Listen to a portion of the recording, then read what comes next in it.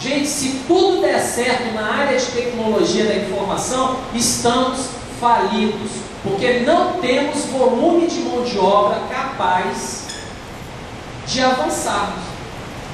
Tem empresas de grande porte hoje nesse país que perdem contratos internacionais porque não tem gente habilitada para fornecer. Requer um volume de mão de obras muito grande. E aí o que, é que acontece? Os indianos, por estarem fazendo o dever de casa há mais tempo, pegam esses grandes contratos.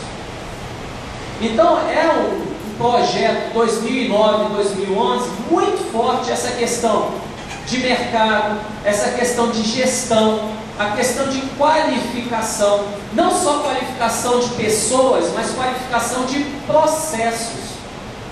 Né? O brasileiro é um ser muito criativo. Está sendo instalado grandes fábricas de software aqui no país por essas multinacionais, por essa característica do brasileiro. Mas nós precisamos mudar algumas questões que são culturais nossas.